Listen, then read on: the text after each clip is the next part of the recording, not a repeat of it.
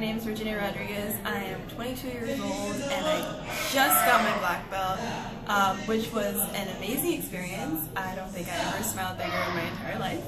Um, I've been doing it for about four years. Um, I started off being like a kind of a couch potato. My mom thought that I should do something more active with my life, and I said, why not martial arts? And here I am with my black belt, and it's amazing. I think it's something that gets you confident, which I can vouch for because I'm definitely more confident. I'm stronger. I can pick up stuff. and it's something you should definitely consider at least try it out and see if you like it which i'm pretty sure you'll love it because here at elite force we're just one giant amazing kicking family